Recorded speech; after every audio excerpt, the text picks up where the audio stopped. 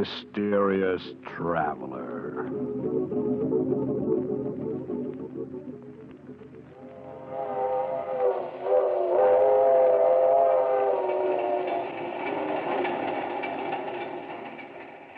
This is the mysterious traveler, inviting you to join me on another journey into the realm of the strange and the terrifying.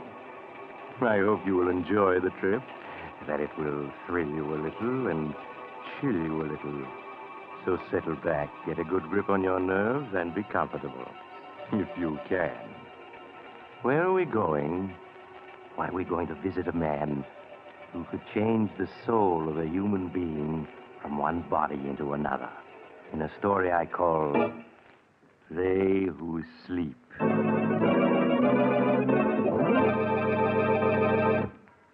My story begins late one foggy night in a dingy little room in the slum section of a great city.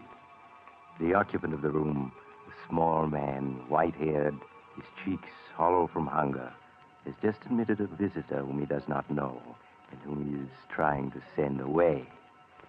An expensively dressed young woman with a heavy veil hiding her face. But, my child, it cannot be me to whom you wish to speak. You have made some mistake. I haven't made any mistake. I've been hunting for you for days. I spent a good deal of money tracing you here. What I do not understand. Why should you wish to find me, Alexander Thomas, a penniless old man? You did who- not always use the name Alexander Thomas. Once you called yourself Chadwin the Great, hypnotist beyond compare. Chadwin the Great? Yes, I, I once used that name. But Chadwin the Great no longer exists. I am only Alexander Thomas now. listen to me, Chadwin. We've met before. Ten years ago, you gave a performance at the Bijou Theater. There are so many Bijou theaters. You asked for volunteers to be hypnotized. I came up on the stage. I and my sister Rose. You hypnotized her easily, but you could not hypnotize me. There were so many, I cannot remember. No, but you can remember this newspaper clipping. That old story from the newspapers. Where did you get it? It says that you, Chadwin the Great, once performed the experiment of exchanging two men's souls. By the use of secret drugs and your great powers of hypnotism, you transferred one man's soul into another man's body. You cannot believe all the newspapers say. But you did this before witnesses. And one of the two men died. You went to prison for five years for manslaughter. Why do you come here to remind an old man of his tragedies?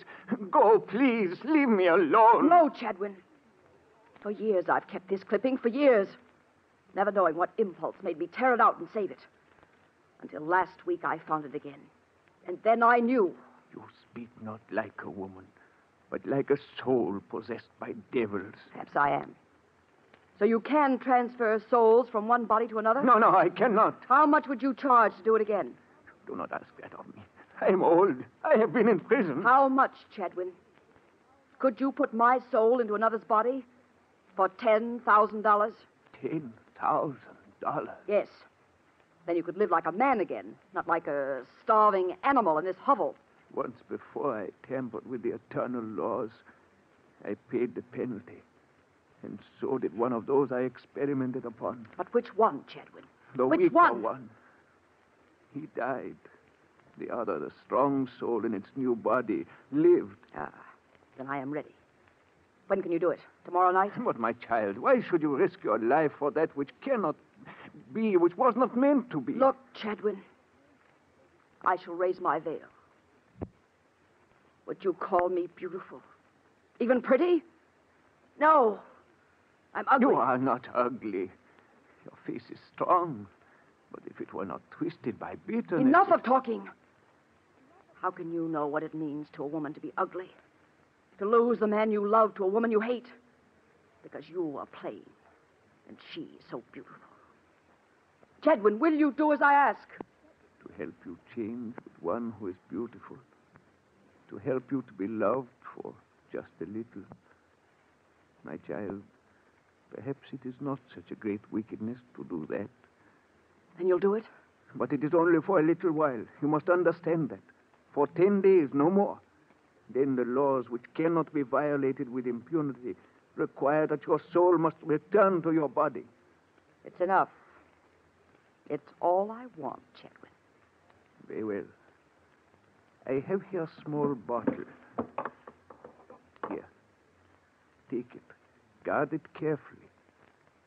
When the moment comes, she, the other, must drink it in water. Yes. It will be easy. She will drift off to sleep. Then you, you must come to me. But not here. It would not be safe. Never mind. I know the place. The safest in the world. Very well. The exchange will be made, and I will see that she, in your body, slumbers dreamlessly. After ten days, she will wake and be herself again, with no memory whatever of what has happened. And uh, now, Miss Vaughn. Helen Vaughn. now, Miss Vaughan, who is this beautiful one with whom you would change places? The girl who just married the man I love. My sister, Rose Vaughn.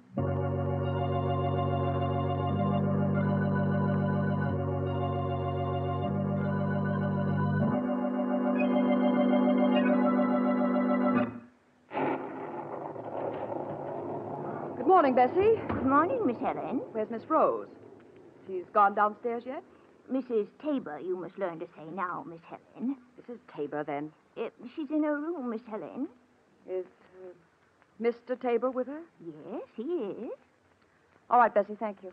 Helen, is that you? We thought we heard your voice. Come on in. Leonard's just leaving for the office. Good morning, Helen. How's the best sister in law I ever had? Hello, Rose. Leonard. Darling, what's the matter? Ah, I know. Did you hear what time this young lady got in last night? It must have been quite a party. Leonard, I hope you aren't keeping tabs on Helen. No, but I did hear the clock strike three just as her door closed. well, me for the office. First, a goodbye kiss. Oh, gosh. I sure picked myself a beautiful wife. Oh, run along, you silly. Bye, Helen.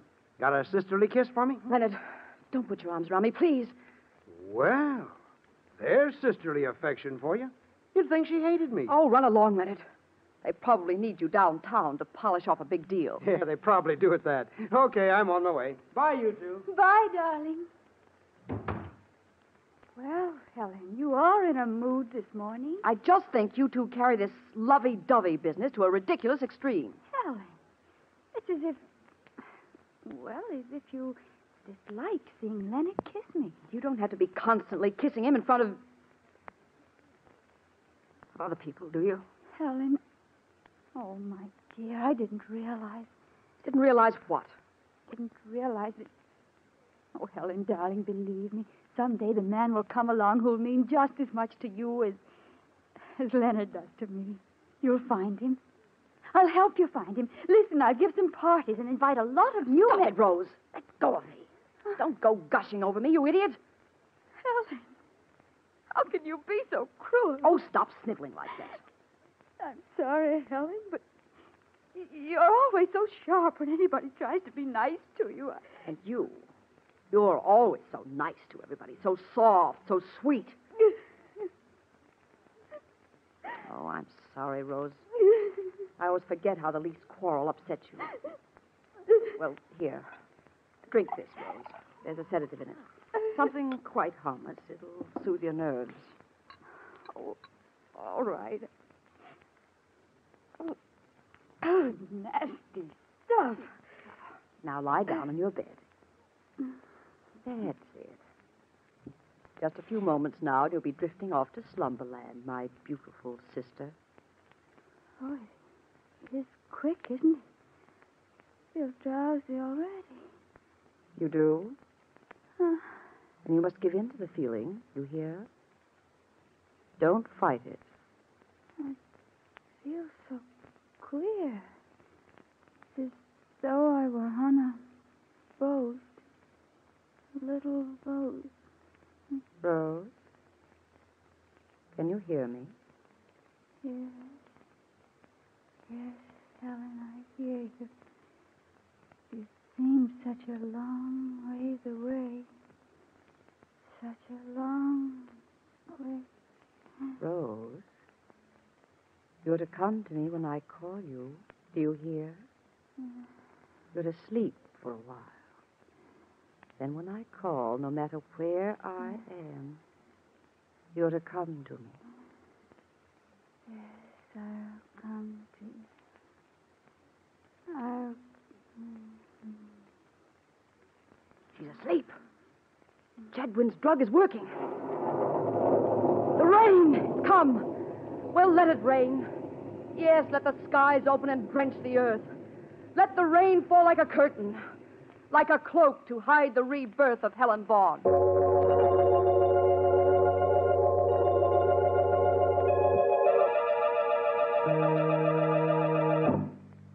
Leaving her sister Rose in a slumber so deep it was almost death-like, Helen Vaughn hurried to her room.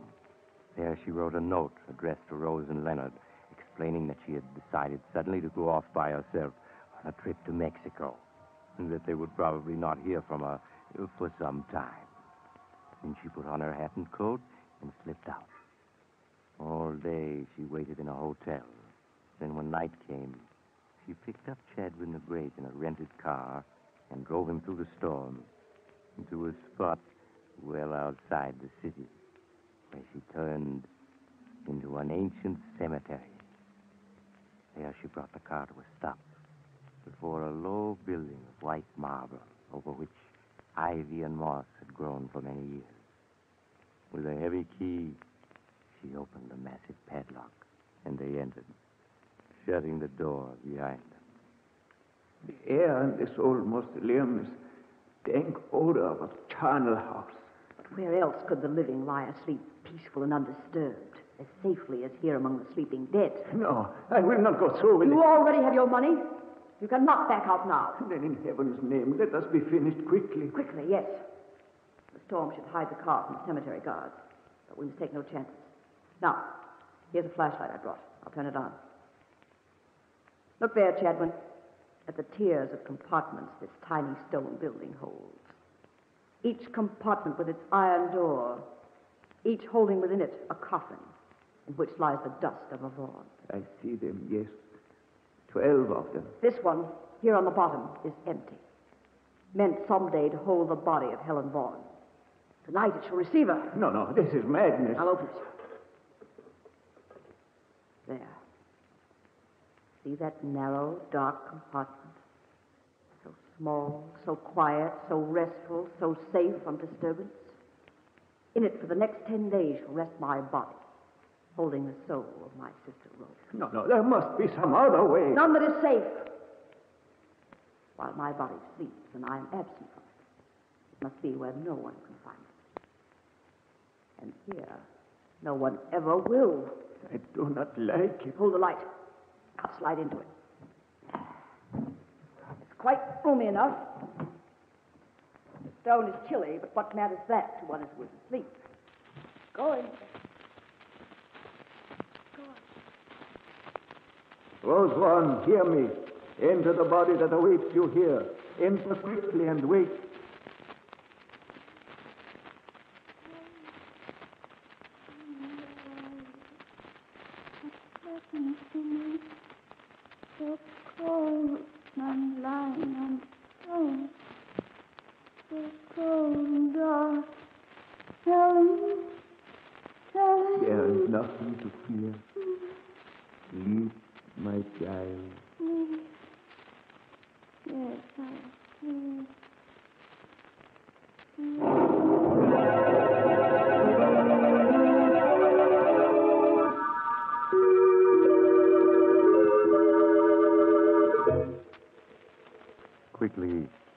Closed and latched the iron door of the compartment, slipped from the mausoleum, snapped the padlock on the huge door again, and was gone. At the same time, back in the big house in the city, the frantic Leonard paced the floor, waiting for some change in the condition of his wife Rose, who all day had been in a strange stupor from which nothing could arouse her. There. Doesn't she look better? Yes, I, I think she does. Mm. She's waking up. Oh. Rose, Rose, darling, don't be frightened. Why, Leonard, Yes, of course it's me. Who did you think it was going to be? I don't know. I was startled. I guess. I guess I must have been dreaming. Rose, Rose, what's happened to you? Why, your voice sounds just like Helen's. Really, Leonard? That's odd. Perhaps I'm catching a cold. No, no. Now you you sound like yourself again. But for a moment, I'd, I'd have sworn it was Helen speaking. Uh, I guess I've been so worried I'm, I'm just imagining things. Oh, Leonard, hold me close. Close, darling, close. Always, Rose. Always. Always. Yes, always. She'll never have you back. Never. What What are you saying, Rose? I was just thinking of how much I love you. So much that I'll never let anything take you away from me. Never.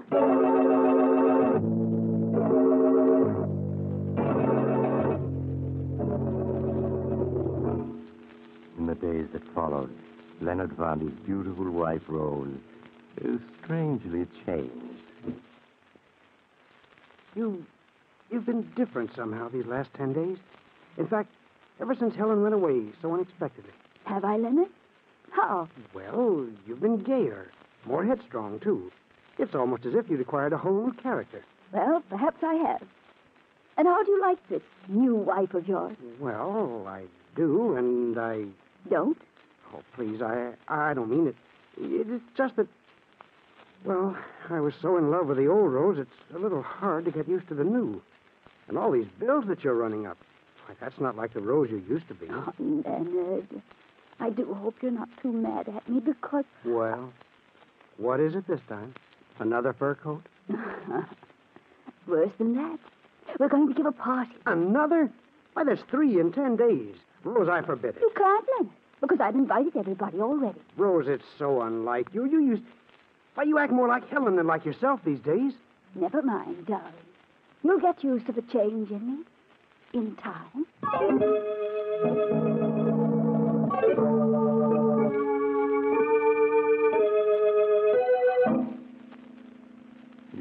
Her husband's displeasure, Rose, or should I say, Helen, went ahead with her plans for a party that night. And when early in the evening, a small gray haired man presented himself at the door and asked for her, she sent word by Bessie that she would not see him. I'm sorry, Mr. Chadwin. Uh, Mrs. Tabor says she cannot see you. Um, she says she does not know anyone named Chadwin. But she does. Ten days ago I was here. I gave you an envelope for her. It had a key in it. Oh, surely you remember? Yes, but just the same, she says she doesn't know you. Now, please go, or I'll have to call an officer. Did you tell her what I said? This was the tenth day. Yes, and she said she had no idea what you were talking about. All right. I'm going. I must do what I can by myself.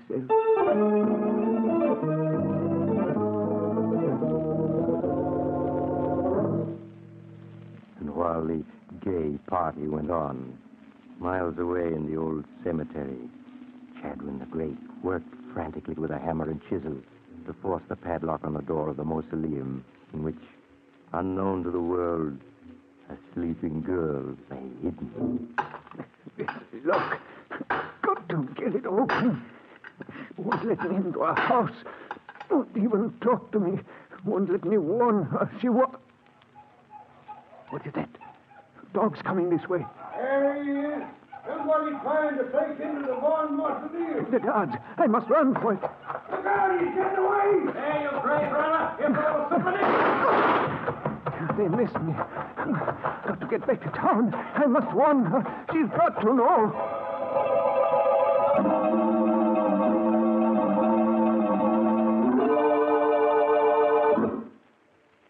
Vaughan, thank heaven this time you heeded my message. I won't have you coming around to my house this way, do you hear?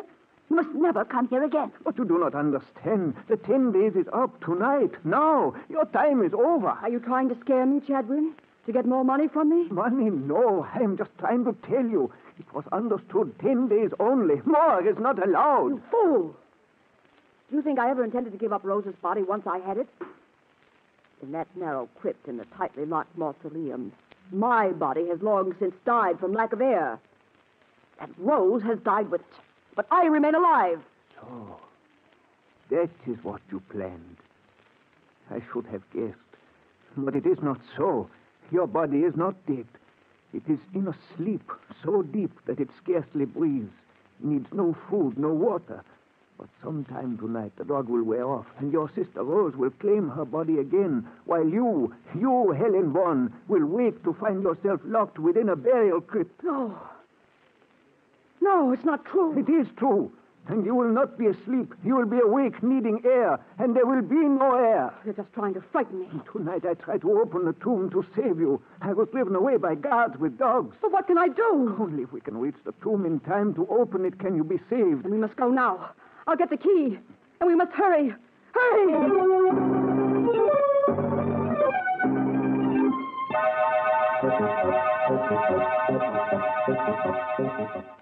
There's the mausoleum, Miss Vaughan. Pray heaven the guards are not waiting. They won't be. We fooled them by leaving the car outside and walking up this back path. Now hurry, Chip. What is it, Miss Vaughan? I I don't know. For a moment, I, I felt so dizzy, so weak. It's Rose, trying to return to her body. We cannot waste an instant. Hold me up. Something is pulling at me, tugging at me. Helen, where are you? She is speaking through her own lips. No, no, not yet. Go back. You hear me, Rose? Go back. Here's the mausoleum. The key. Give me the key. Here it is, quickly. She's pushing at me so hard. So No. hard. Help me. Everything is so dark. Where are you? Go back. Go back, I say. Chadwin, have you got the lock out yet? It won't unlock. It must. They put a new padlock on. Oh, dear heavens, they've changed the lock. Helen, No. Helen. No. It's getting dark. Dark. It's hopeless. We cannot enter. Helen, where are you? No. We can't both be in the same body. Go back. Helen, I'm frightened. Don't force me out. Help me. Go back Helen. where you were. Help me. Wait, Rose, wait. Help me. Helen. Helen. No. No, don't. Rose, you mustn't. You mustn't. The guards, they're coming back. Helen. Where am I? What's happened to me? Come on, he's back again. Sleep, child. Sleep a little longer and wake without memories. Please. Yes. Please. For her I can do nothing now. And the guards, they must not catch me. They must not catch There he is. We got him this time. Holy catch. It's a girl. It's Mrs. Tabor. Asleep on the steps of her own family mausoleum. Say, we got to get her out of here. Help me lift her out. Hey, wait. Did you hear something then? Like somebody calling a long ways off? Listen.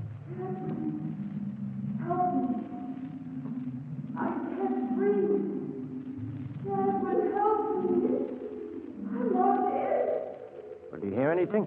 Nah, I can't hear anything, just the wind. Come on, we got to phone Miss Tabor's husband. She may be sick. Come on now, no time to lose.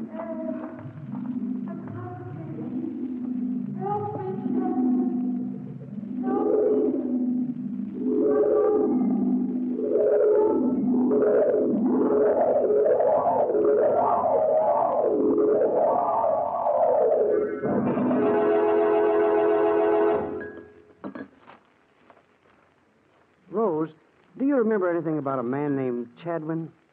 Chadwin? Mm, No, I don't, Leonard. Well, Bessie says he called several times last week to see you. The last time was the night of the party. You're sure you don't remember him? Uh, no, Leonard. I, I'm sorry, oh, but. it's all right, darling.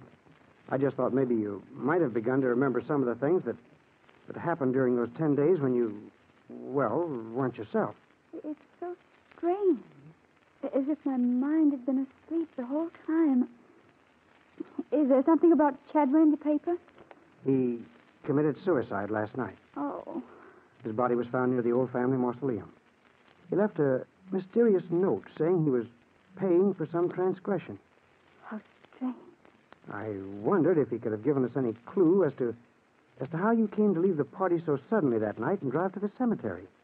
Oh, but it's all over now and not worth worrying about. I- I'd remember if I could, but when I try, I, I become suddenly frightened and, and feel as if I were locked in in some dark, tiny space where I can't breathe. All right now, darling, all right.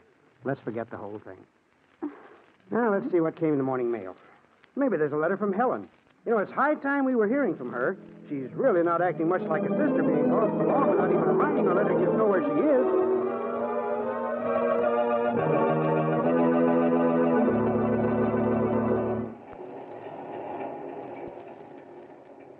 This is the mysterious traveler again.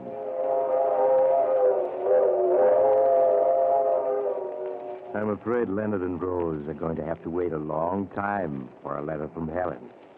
In fact, I'll be very much surprised if they ever get one. I suppose it'll never occur to them to look in the old mausoleum. In fact, uh, since they both feel a distinct aversion to going near it, it may never be opened again. But I don't suppose that'll make much difference to Helen. uh, now. Now, if you were wishing uh, you could step into somebody else's shoes, maybe what happened to Helen will make you change your mind. You know, I knew a man once who he, he stole somebody else's body, only to discover when it was too late that he. Oh, you're getting off here? Well, perhaps we'll meet again soon.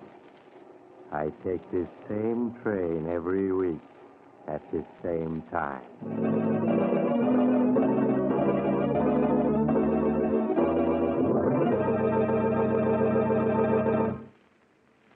Have just heard Chapter 55 of The Mysterious Traveler, a series of dramas of the strange and terrifying. In tonight's story, They Who Sleep, Philip Clark played Chadwin, Gertrude Warner played Helen, and Helen Clare played Rose. The Mysterious Traveler is written by Bob Arthur and David Kogan. Original music is played by Henry Sylvern, and the entire production is under the direction of Jock MacGregor.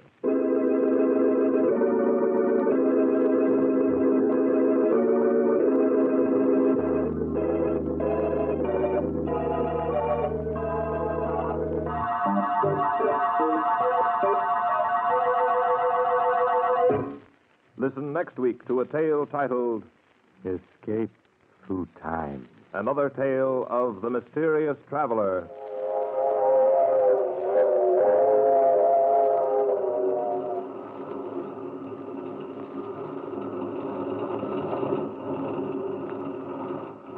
Mysterious Traveler is presented by WOR Mutual from the WOR studios in New York.